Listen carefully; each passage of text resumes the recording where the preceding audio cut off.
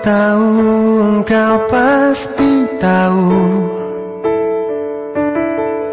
Halo, kami dari Yofi and Nuno. Selamat mendengarkan Radio PPI Dunia, suara anak bangsa, satu cinta, satu Indonesia. Terus harumkan nama bangsa ya. Begitu indah Perginya entah ke mana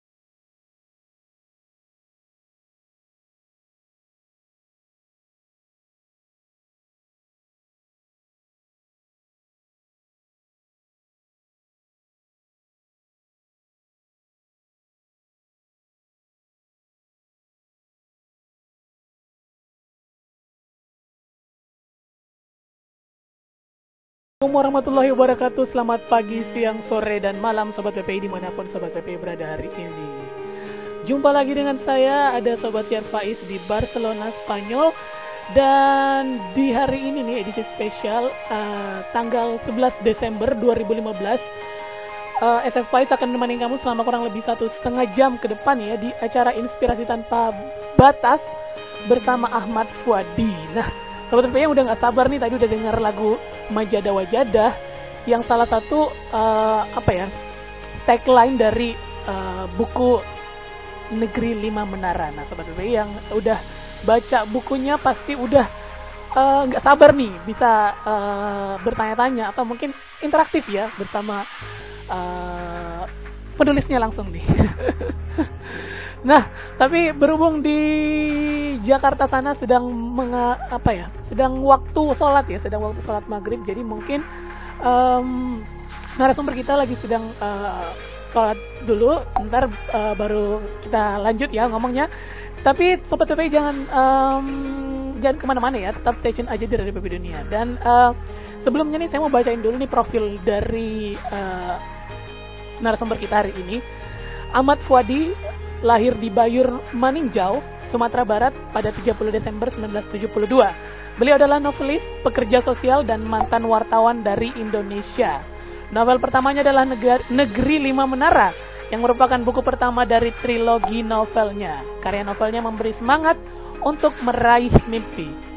Negeri Lima Menara, Ranah Tiga Warna, dan Rantau Satu Muara.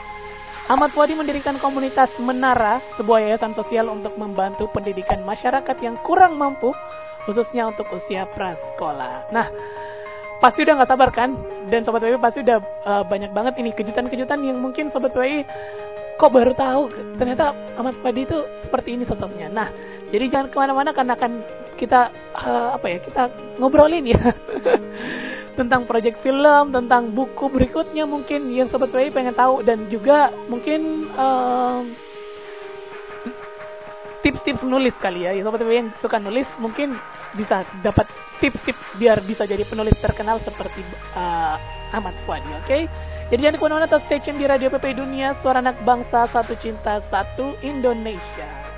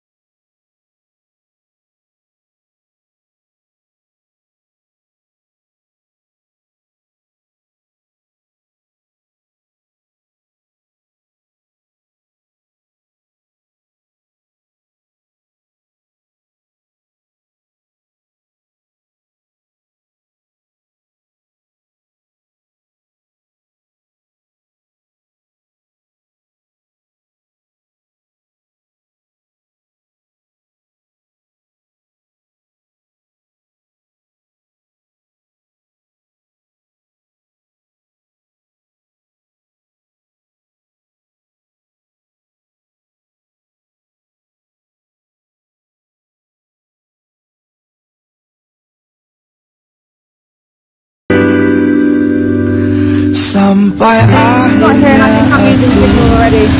Hello? Can you hear me now?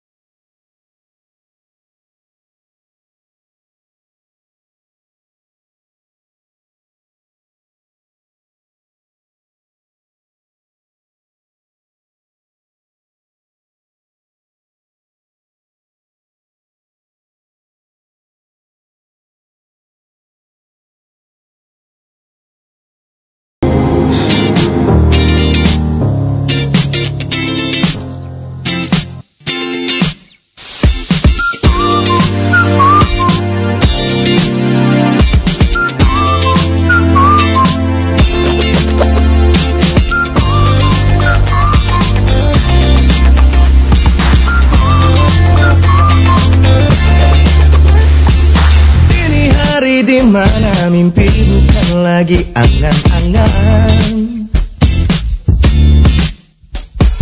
Jiwamu baru bersih tinggi dan seputih awan-awan ah.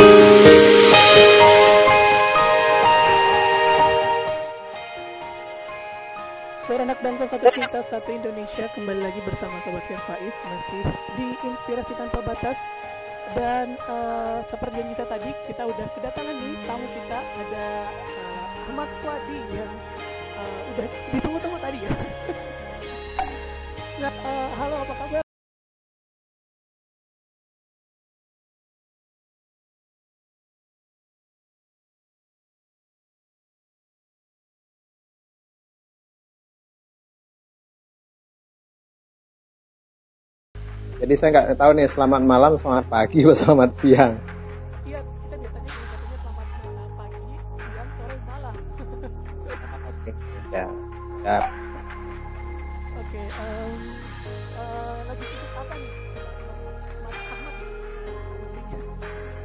Wadi saya. Kalau kalau Ahmad oh, banyak banget orang, jadi Fuadi aja.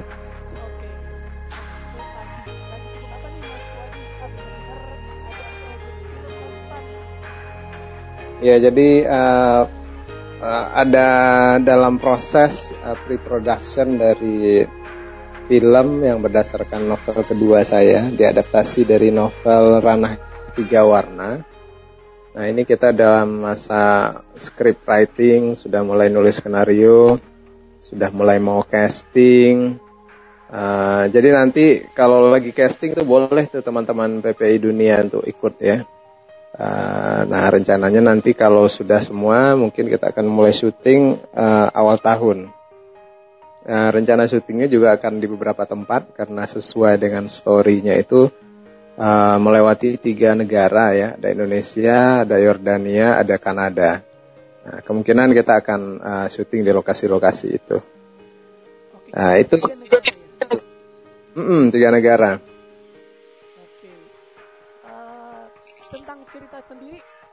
Ceritanya eh, bakal lanjutan dari negeri lima menara kah?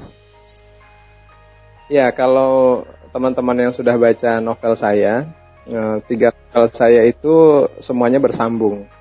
Jadi itu eh, bersinambung ya, makanya tentu saja dia adalah kelanjutan dari Negeri Lima Menara. Eh, karakternya juga sama, yang berbeda adalah periodisasi hidupnya. Kalau karakter Alif di Negeri Lima Menara itu kan ketika dia masih di usia belum kuliah, Nah, ranah tiga warna ini usia dia kuliah.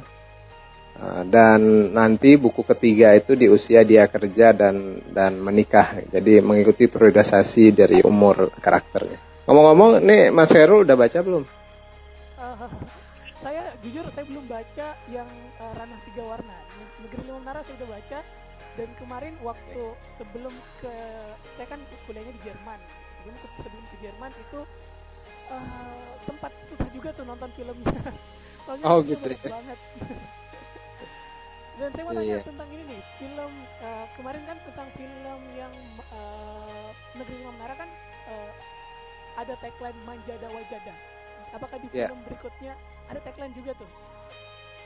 ya jadi semua buku saya itu ada selalu tagline uh, berupa kata mutiara yang yang berbahasa Arab gitu. Jadi ini kebetulan waktu dulu di pesantren saya diajarkan beberapa banyak sekali ya uh, kata-kata mutiara yang entah siapa yang bikinnya pokoknya dari zaman dulu ya bahkan sebelum pra Islam itu. Dan itu diajarkan kita kepada kita selain juga belajar bahasa juga untuk uh, menyemangati Nah, yang pertama kan manjada wajada ya. Siapa yang bersungguh-sungguh dia akan mendapatkan hasil. Nah, yang kedua ini di ranah tiga warna ini uh, kata mutiaranya itu mansabara zafira. Artinya siapa yang bersabar dia yang akan beruntung. Artinya gini, kalau manjada wajada itu kan kesungguhan, kesungguhan gitu ya. Tapi sebetulnya kan kesungguhan itu nggak nggak menjamin keberhasilan sebetulnya. Ada orang yang bersungguh-sungguh nggak berhasil juga. Ada yang nggak sungguh-sungguh ya kok dapat beruntung gitu. Nah, artinya kesungguhan tetap perlu, cuma tidak ada jaminan akan langsung berhasil. Harus ada mungkin momen kita bersabar. Ah, artinya dari sungguh itu tidak otomatis sedetik kemudian ah, berhasil. Kadang-kadang ada masa menunggu. Nah, masa menunggu ini bisa sedetik, bisa ah, belasan tahun, Ah, bisa selangkah, bisa ribuan kilo. Nah, masa menunggu ini yang menurut saya, maka kalau menurut aku, eh, kata mutiaranya diisi dengan sabar. Jadi jarak itu diisi dengan sabar sehingga nanti kita tidak akan eh, putus asa gitu ya. Nah itu kira-kira eh, ininya ya pesan utamanya. Oke, jadi nggak sabar nih nunggu film eh, berikutnya ya. Dan udah- mungkin udah banyak yang harus udah sabar baca kan kali ya. biar beruntung. Harus sabar biar beruntung. Bener banget. Dan em, saya mau nanya nih, ini pertanyaan yang mungkin juga di- di- ditanya-tanya oleh sobat PPI. Kenapa kemudian memutuskan untuk dibuat film? Soalnya saya pribadi nih Mas ya kadang merasa film itu kurang merefleksikan dari keseluruhan isi buku. Kayak contohnya misalnya Negeri Lima Menara nih yang di bagian-bagian awal tuh sempat menceritakan kehidupan eh, Alif di di waktu masih di kampung, tapi di filmnya tuh dikit banget gitu tentang cerita itu di film. Apa tidak eh, me- apa ya merefleksikan nggak merefleksikan seluruhnya gitu? Ya awalnya saya juga ragu-ragu ya apakah buku ini diangkat ke layar lebar apa tidak gitu ya. Hmm. Eh, tapi kemudian saya mulai eh, diskusi dengan banyak teman termasuk istri saya yang membantu eh, membaca semua naskah buku saya. Akhirnya kita sampai pada kesimpulan kalau eh, kita menulis sebetulnya ada batasannya. Batasannya adalah hanya dibaca oleh orang yang mau baca. Nah, khususnya di Indonesia pembaca itu sebetulnya tidak massal ya. Uh, lebih banyak uh, masa yang menonton daripada masa yang membaca. Iya. Artinya kalau kita uh, menyampaikan pesan, menyampaikan uh, apa semangat atau inspirasi, uh, kita harus menurut saya menggunakan segala macam medium. Segala macam medium artinya uh, tidak tidak kita batasi hanya di buku. Buku itu kan kita sudah punya konten. Nah, kontennya kita pindahkan medium. Medium apa saja? Salah satu medium yang efektif itu adalah film. Mungkin ini eh, teman-teman PPI Dunia juga kalau kita tanya, mungkin kalau saya tanya eh, berapa buku eh, lebih banyak baca buku apa nonton film? Jangan-jangan lebih banyak nonton film. Selain buku kuliah ya, kalau buku kuliah mah harus. Gitu Wajib. wajib gitu ya. Artinya gini, orang kalau membaca dia harus spending waktu, dia harus konsentrasi dan eh, belum tentu tamat gitu ya karena lama. Kalau nonton film dia duduk dua jam sudah dapat ceritanya. Nah karena itu saya berpikir, oke lah kalau gitu saya akan pindah medium kan dengan niat supaya pesannya lebih menjangkau lebih banyak orang. Dengan resiko, tetap ada resiko nih, akan ada reduksi, akan ada pengurangan, akan ada penambahan daripada bukunya. Artinya gini, kita memang nggak akan bisa membandingkan buku dan film apple to apple. Atau mereka dua produk uh, seni yang berbeda. Uh, buku adalah buku, film adalah film, makanya disebut adaptasi, bukan fotokopi gitu ya. Nah itu saya pernah di sana pernah diskusi panjang, salah satunya dengan Salman Aristo yang menulis skenario Negeri Lima Menara. Dia yang menjelaskan kepada saya, "Ah, Bang jangan berharap buku dan film akan sama. Hor- eh, hormati aja dua karya yang berbeda ini. Ini dua karya yang kita apresiasi dan cara berbeda. Kalau kita sama-sama kan nggak bakalan sama. Saya kemudian berpikir, iya juga ya. Buku itu kan bisa 400 halaman. Dimuat ke dalam film berdurasi 2 jam. Nggak akan muat. Pasti akan ada pemilihan. Dan itu adalah ranahnya uh, scriptwriter dan sutradara. Nah, jadi kita hargai aja sebagai dua karya berbeda. Yang mungkin ada kesamaan adalah semangat yang mendasari kedua cerita. Cerita di novel maupun cerita di film. Kalau kita Oke. masuk ke detail akan akan berbeda sekali. Jadi mungkin intinya eh, apa ya eh, beda medium tapi sama-sama menyampaikan pesan yang sama gitu ya. Yang penting pesannya tersampaikan gitu ya kali ya. Pesan besarnya sama, mungkin dengan cara yang berbeda atau nanti kontennya ada yang di eh, apa diperbanyak, eh, dipersedikit atau dikasih warna lain. Tapi eh, jiwa eh, yang menjiwai pesannya itu eh, dalam pesannya itu sama lah, mudah-mudahan. Oke. Dan eh, jadi nggak takut nih kalau misalnya eh, filmnya ternyata lebih laku dibanding bukunya nih.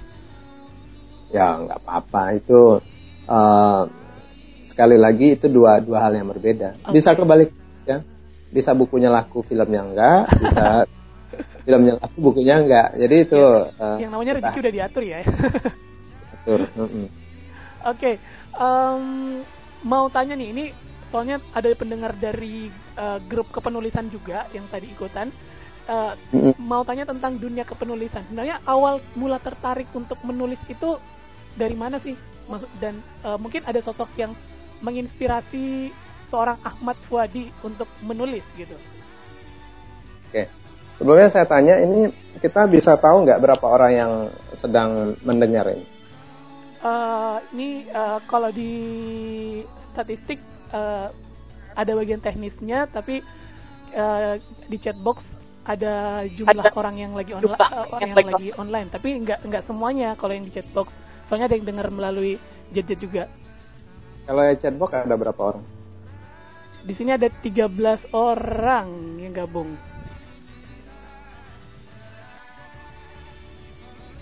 Berbagai negara ya. iya Oke, benar-benar. eh, tadi tadi untuk menjawab pertanyaannya, eh, bagaimana awalnya menulis ya? iya Eh, jadi saya menulis itu sebetulnya hmm, kalau saya ingat-ingat itu mulai dari usia saya SMP ya. Dulu saya eh, SMP-nya itu di madrasah. Mhm. Nah, ceritanya ibu saya seorang guru SD. Setiap hari ibu saya akan memeriksa tugas-tugas yang diberikan kepada murid ya. Habis dia memeriksa nanti dia biasanya mengambil sebuah buku dan dia menulis di buku itu. Nah, waktu itu waktu kecil saya nggak mengerti apa yang ditulis oleh ibu saya. Nah, dan saya tanya, ini buku apa? Oh, ini buku harian, kata dia. Tulisannya dulu bukan buku harian ya di bawahnya, di, di luarnya ketulisnya agenda.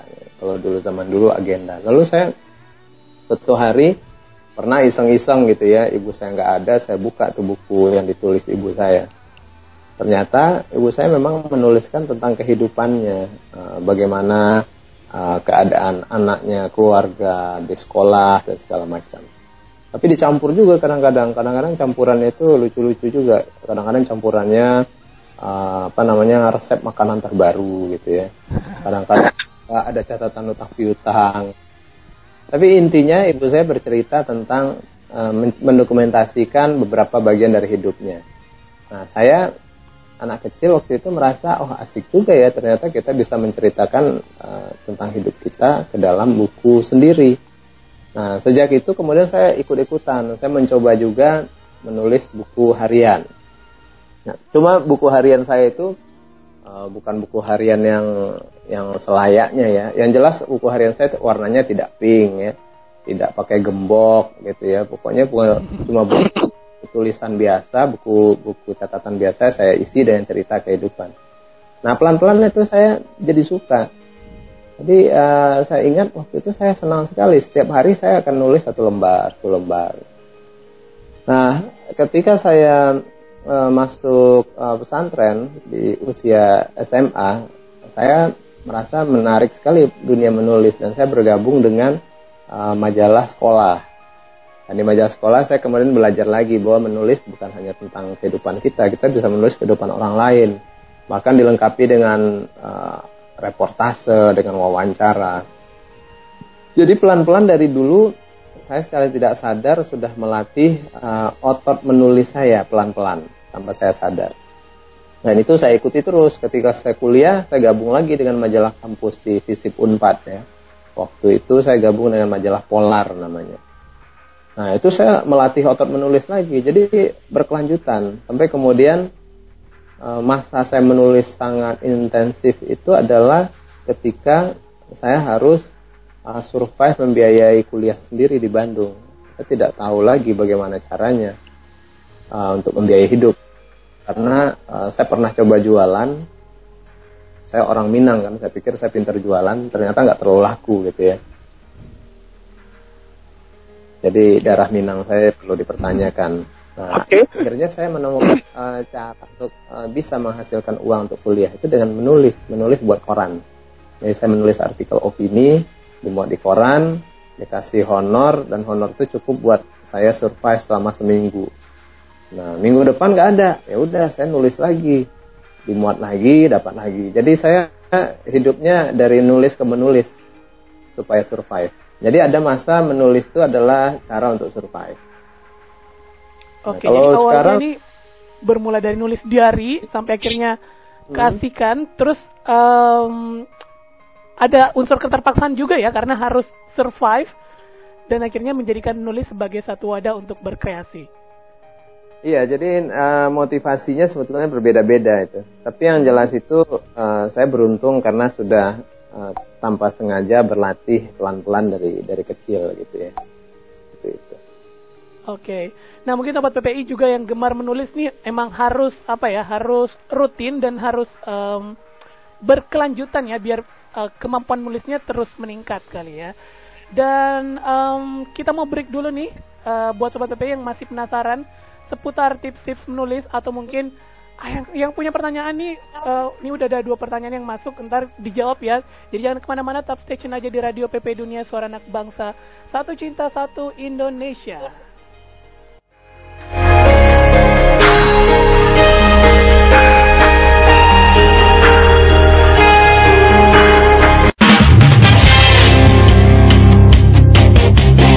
Radio PPI Dunia.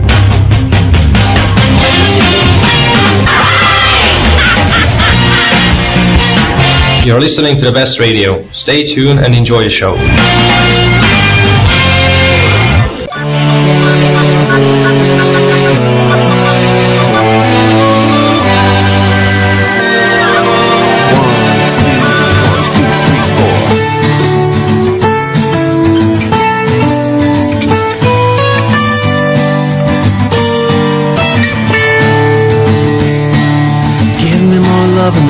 Ever had. Make it all better when I'm feeling sad. Tell me that I'm special even when I know I'm not.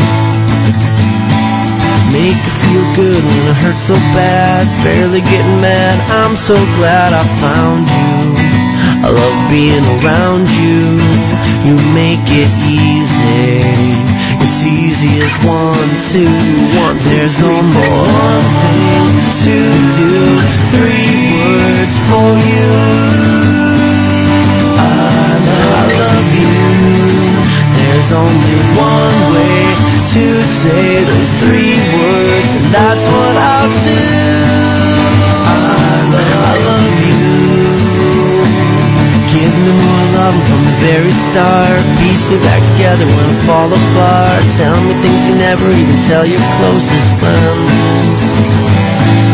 Make it feel good when it hurts so bad. Best that I've had. I'm so glad I found you. I love being around you. You make it easy. It's easy as one, two, one. There's only one thing to do. Three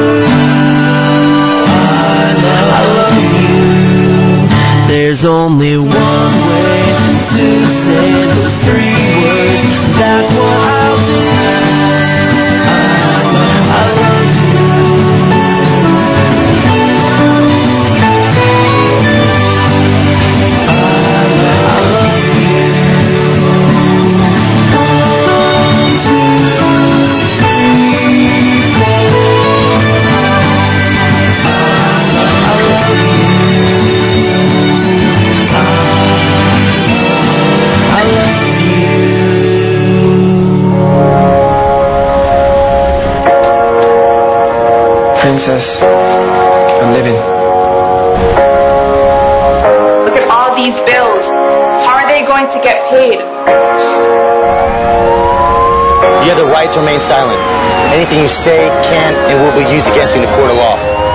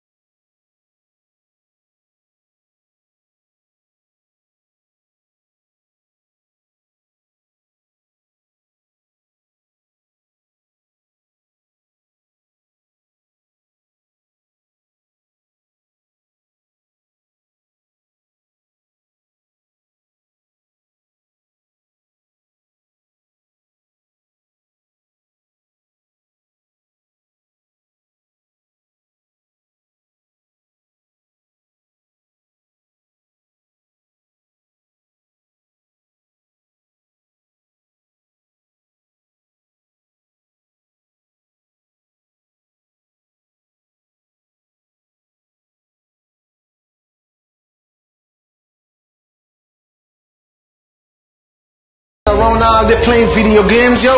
When I out here in these streets trying to figure things out, in my ear and yelling at me, man.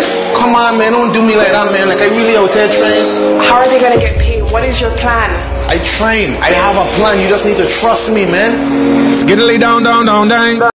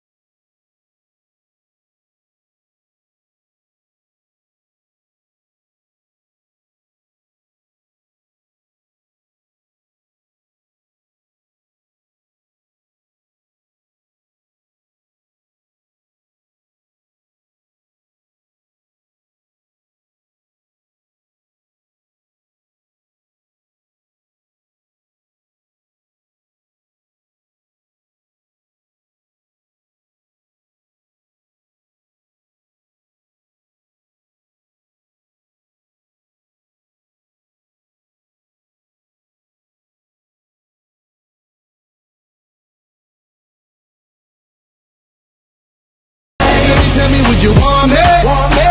Tell me, tell me, would you call me? Call me. If you knew I wasn't ballin'. Cause I need a girl who's always by my side. Tell me, tell me, do you need me? Tell me, tell me, do you love me? Yeah. Or is you just trying to play me?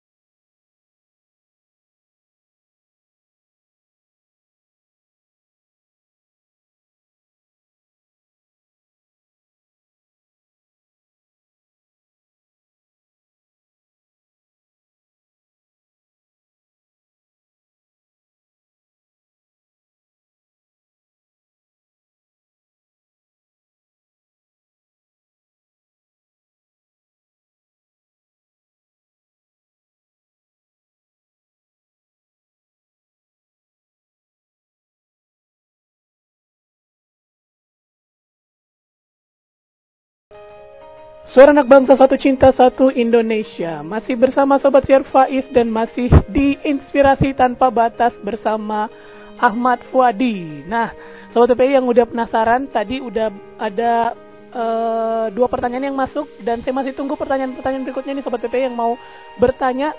Langsung aja mention kita di Twitter di at underscore radio PP Dunia underscore Atau melalui chatbox di www.radioppdunia.org Nah lanjut nih saya mau ngobrol-ngobrol sama eh, Bang Ahmad nih yang udah datang eh, yang udah eh, gabung bersama kita di sini ya.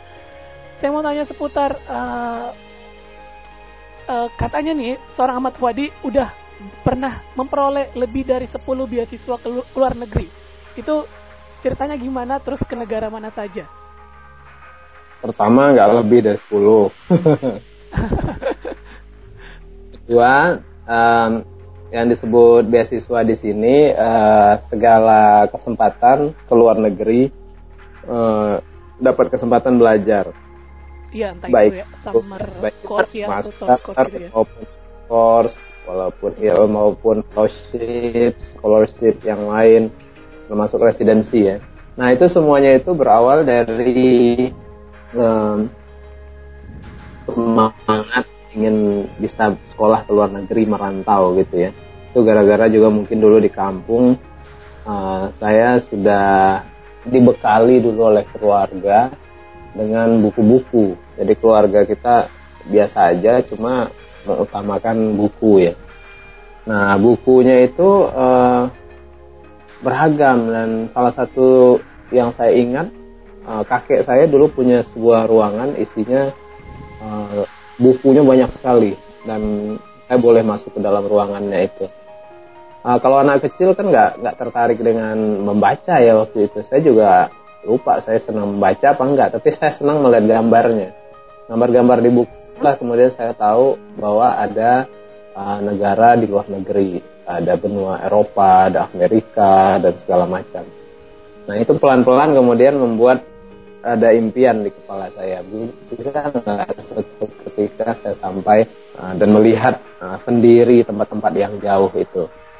Nah, lalu saya juga beruntung juga di keluarga saya ada juga orang uh, apa namanya paman saya dari dulu tuh udah dapat beasiswa.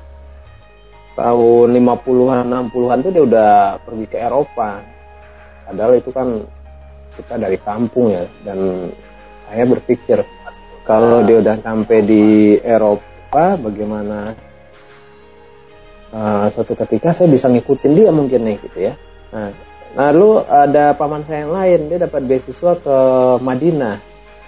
Nah, jadi eh, secara bertubi-tubi ini lingkungan saya mengkondisikan saya untuk berpikir oh ternyata ke luar negeri itu mungkin dan belajar jauh itu mungkin dan tanpa harus bayar.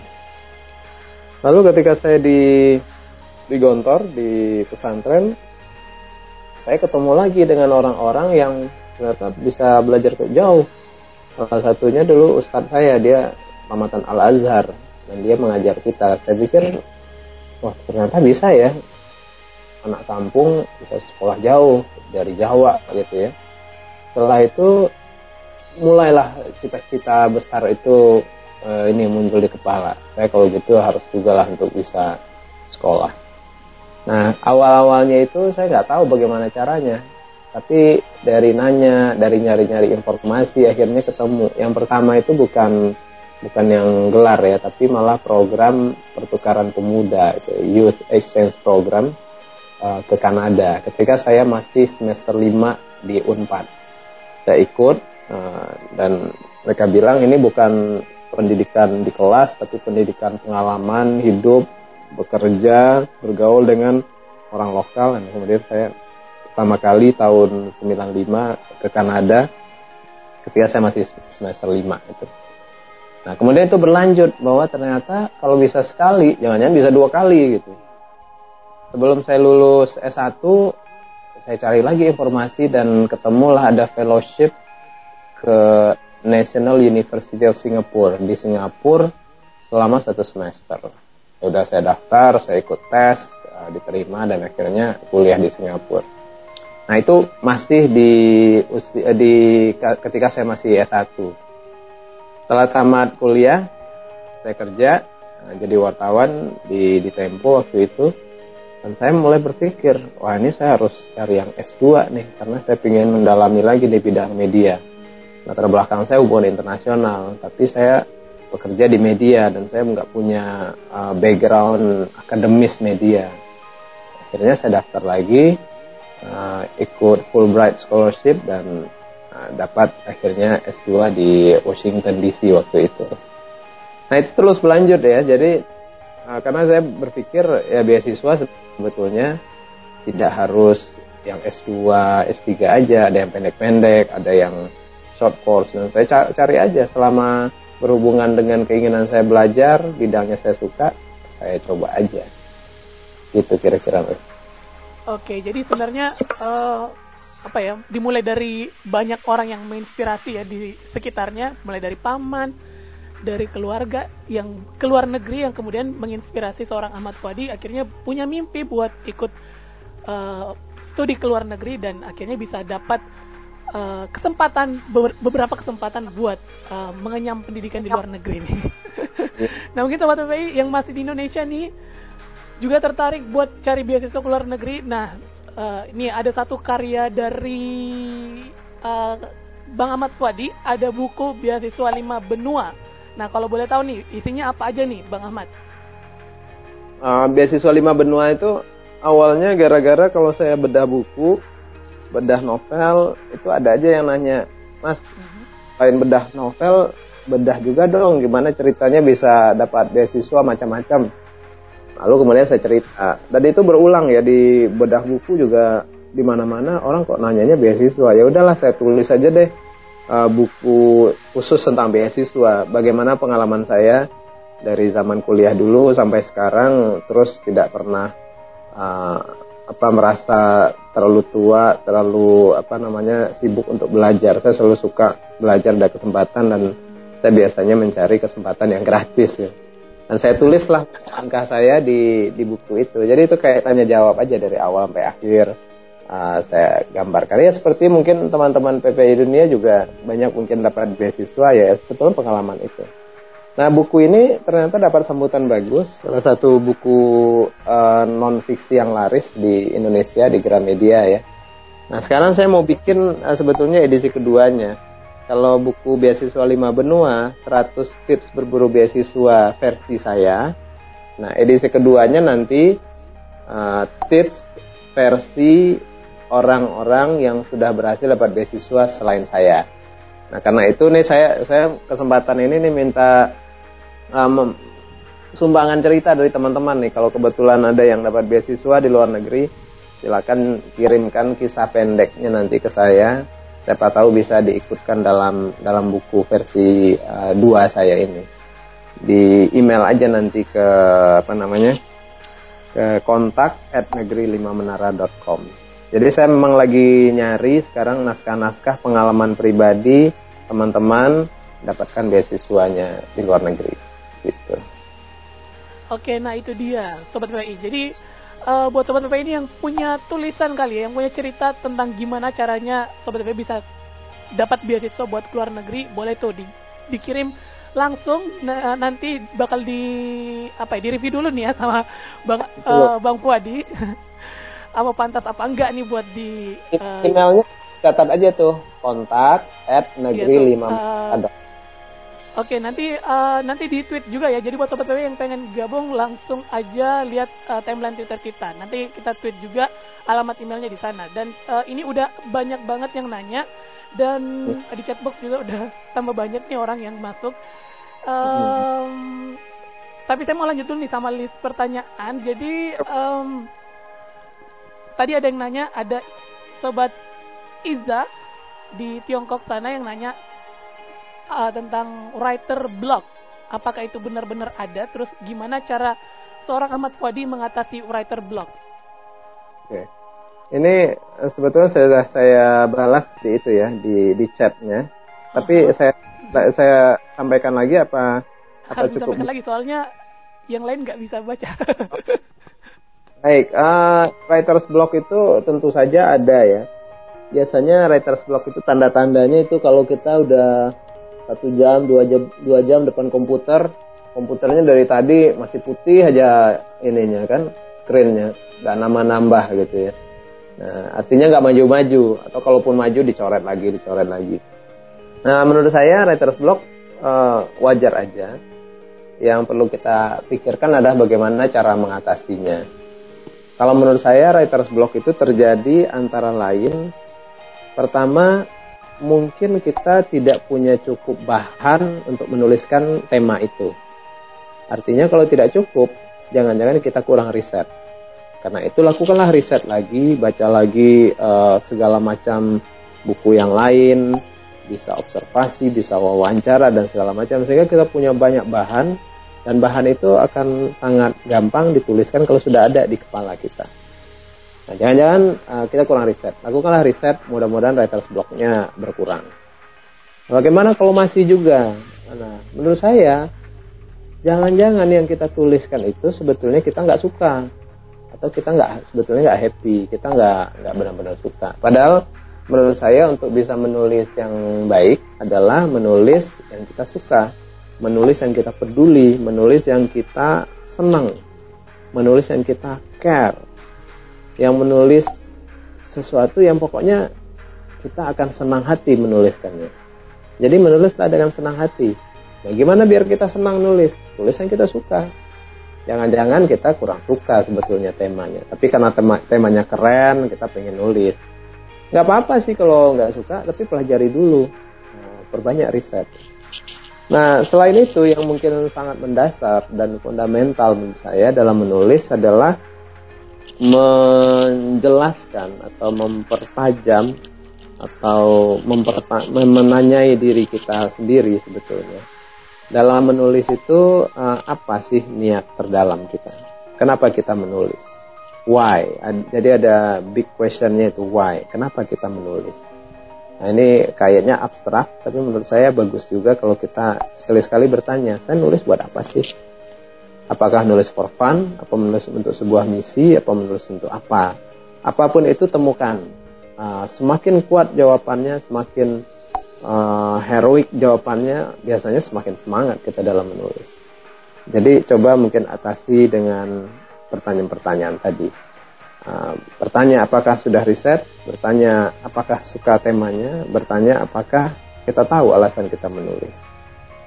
Gitu kira-kira mas. Oke, jadi menulis yang baik adalah menulis yang kita suka ya, menurut seorang Ahmad Fuadi nih. ya, ya, teman yang kuliah ini kan suka bermasalah kan. Iya, nulis banget. kesan gitu kan, nulis paper, nulis assignment, wah itu nggak bahagia nulisnya kalau nggak bahagia nulisnya ya tulisannya begitu-begitu aja. Dan yang paling tidak bahagia itu dosennya. Baca tulisan yang orang tidak bahagia gitu. Hanya tulisannya kita suka. Oke. Dan uh, lanjut lagi nih pertanyaan berikutnya mungkin seputar novel. Nah, novelnya itu ada yang nanya berapa persen sih kisah nyatanya dan berapa persen fiksinya karena ini gabungan katanya. Ya, ini dari Mas Taufan di Bandung ya. Uh -huh.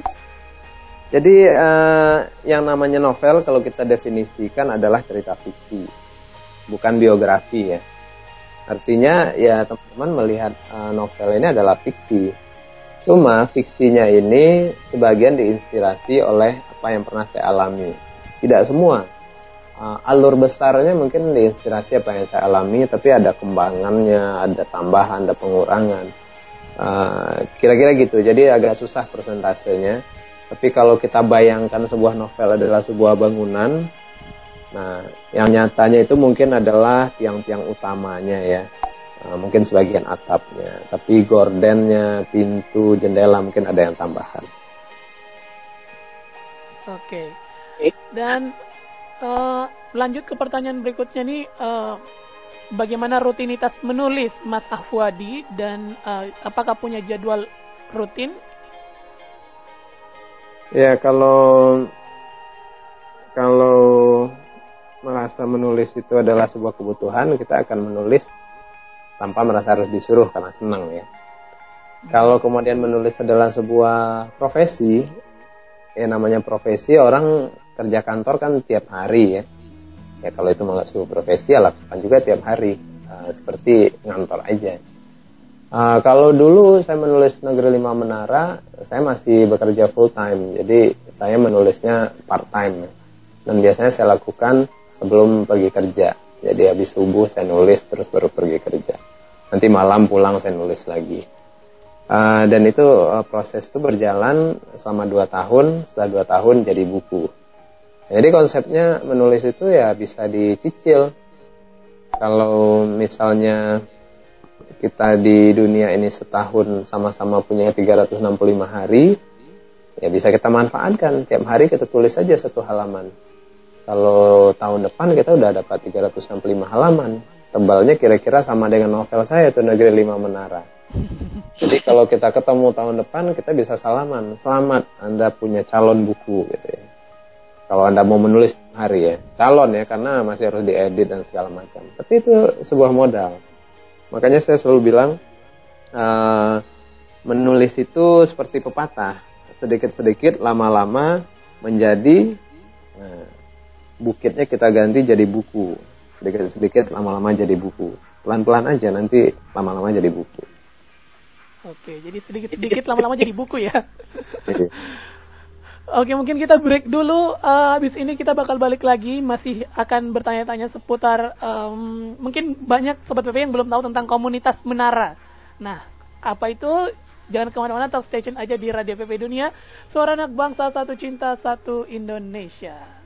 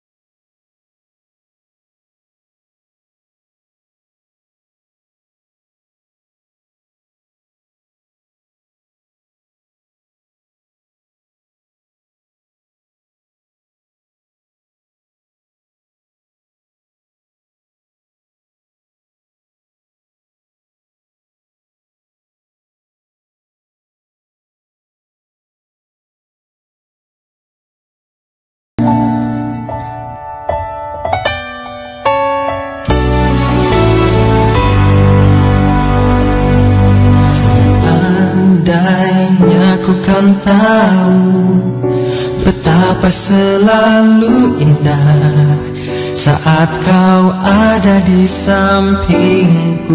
Seandainya ku kan tahu Betapa cepatnya kau Harus pergi dari hidupku. Aku takkan ragu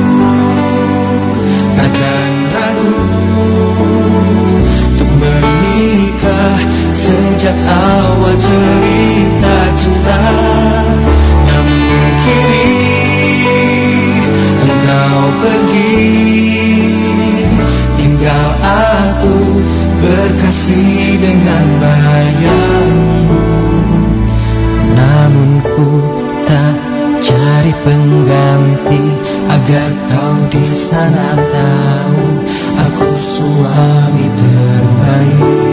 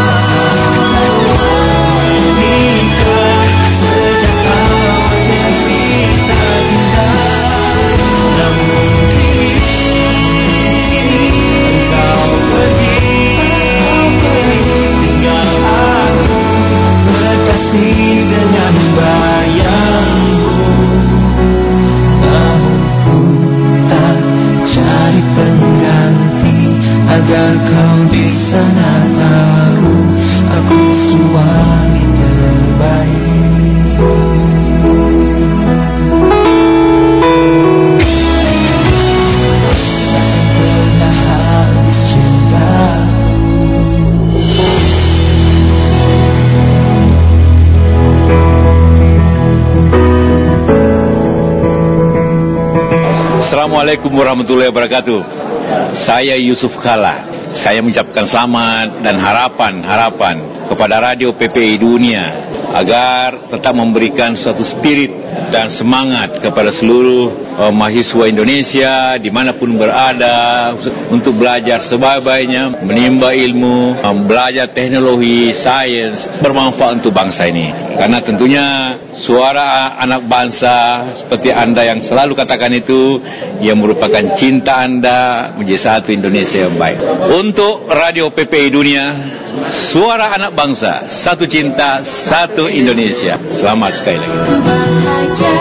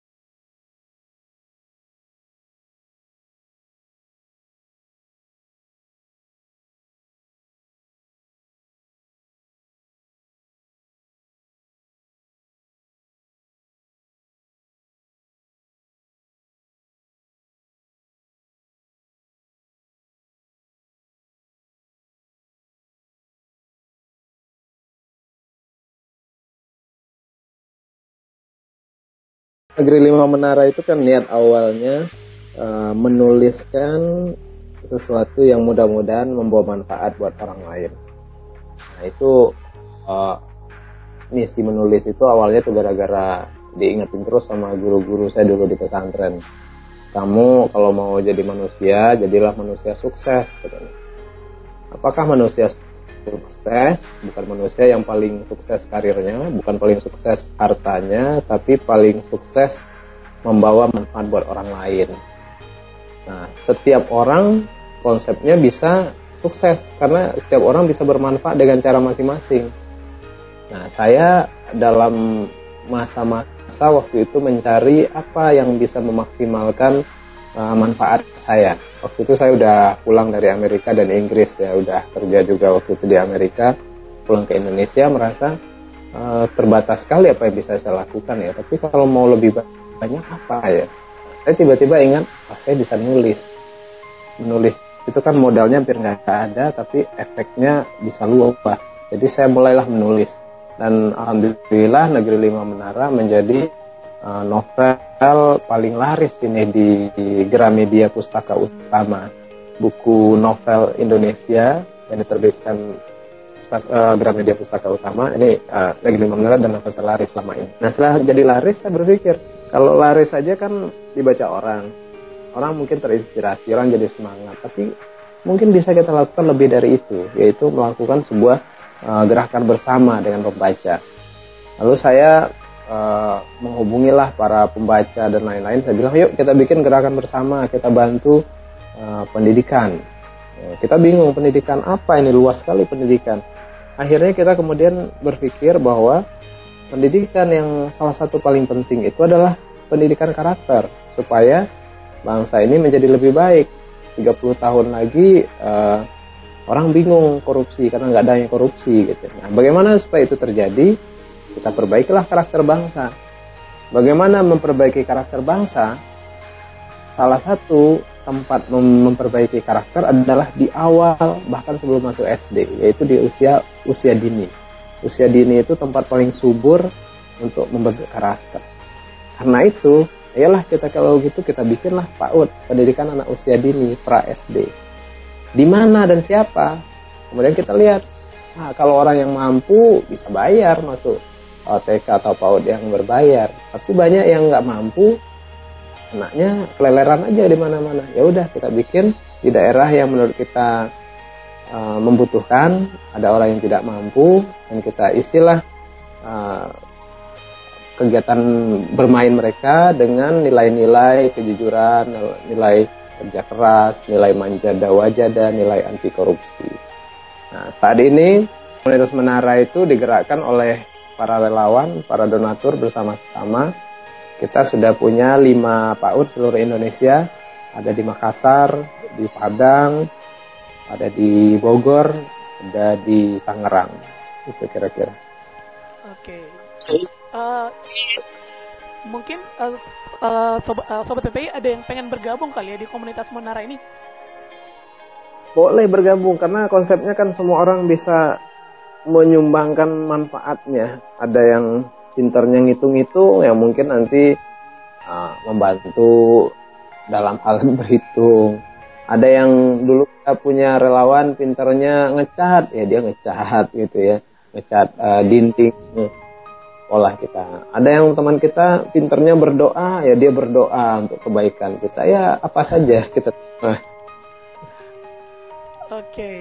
uh, eh, nah tadi juga uh, mungkin teman-teman yang baru gabung, yang ketinggalan tadi uh, Bang Ahmad Fuadi itu ngumumin kalau misalnya Sobat PI punya cerita tentang bagaimana perjuangan merebut beasiswa di luar negeri, itu boleh dikirimin di kontak at negeri5menara.com karena uh, beliau sedang cari naskah nih buat dijadikan uh, the next project bukunya ya. Jadi sobat PWI yang tertarik bisa langsung kirim email ke sana ya.